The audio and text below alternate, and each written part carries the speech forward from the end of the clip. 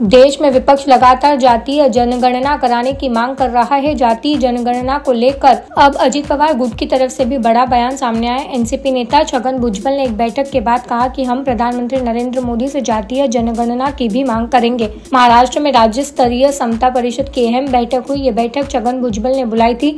बैठक में मराठा ओबीसी आरक्षण समेत कई अहम मुद्दों पर चर्चा हुई। बैठक में मंगेश, सासाने और लक्ष्मण हाके के स्वास्थ्य पर भी चर्चा की गई। देश में विपक्ष लगातार जातीय जनगणना कराने की मांग कर रहा है। जातीय जनगणना को लेकर अब अजीत पवार गुट की तरफ़ से भी बड़ा बयान सामने आया। एनसीपी नेता छगन भुजबल ने एक बैठक के बाद कहा कि हम प्रधानमंत्री नरेंद्र मोदी से जातीय जनगणना की भी मांग करेंगे। महाराष्ट्र में राज्य स्तरीय समता परिषद की अहम बैठक हुई। ये बैठक छगन भुजबल ने बुलाई थी।